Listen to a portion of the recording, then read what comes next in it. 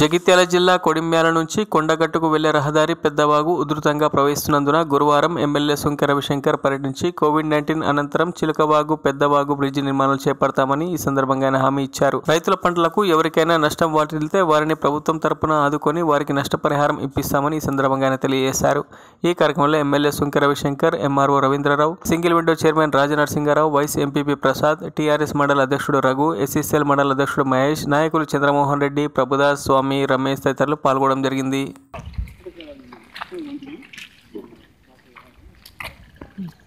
ఎంత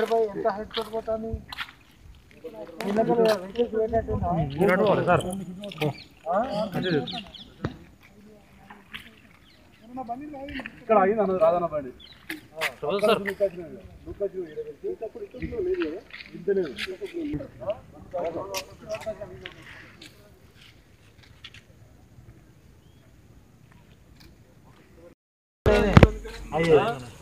చిలక వాగును ఇది రెండు మంజూరు చేయించాలని చెప్పిన? కరోనా లేకుండా సవన మాసం అలా బాగా.